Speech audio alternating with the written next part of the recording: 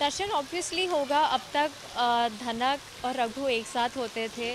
तो माया तड़पी है माया रोती थी हमेशा। उसे जेलिसी भी होती थी कि जो बचपन से मेरा था आज बस वो कोई आया और उसे लेकर चला गया। तो अब मुझे फाइनली जो चीज़ मेरी थी वो मुझे मिल रही है। सो ऑब्वियसली दर्शन तो होगी। ऑफ़ कोर्स हो चुका है आ, वो तो बस जो मैं कह रही हूँ, वो वो कर रहा है। शुरू में वो नाटक कर रहा है बट इमोशनल अत्याचार with the help of my also I am getting him to do whatever I want तो वो, मैं उससे कहती हूँ कि मुझे चूड़ियाँ खरीदनी लेकिन वो मुझे कहता है कि मैं तुझे चूड़िया नहीं, मैं तुझे पूरा मार्केट ख़रीद के दे दूँगा।